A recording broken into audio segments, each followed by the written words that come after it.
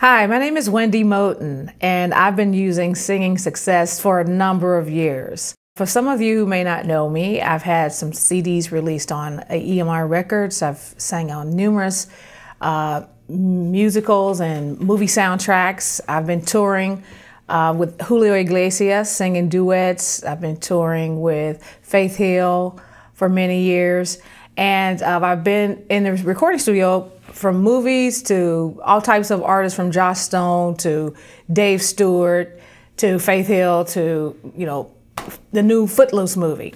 So I've done all types of things, and I would have to say that, you know, using Singing Success has kept me, you know, able to stay in the game and keep my chops. Singing pre Brett, you know, I was able to do many, many things. Uh, but as time goes on, sometimes you lose some of those things, so you need help. So uh, I was always worried about my high notes and you know making sure they still sound pretty but still controlled. As an established singer, you can never be taught enough. So all the people, all the stars, all the, everybody that's in the game that's been able to have longevity, they have to continually work at it.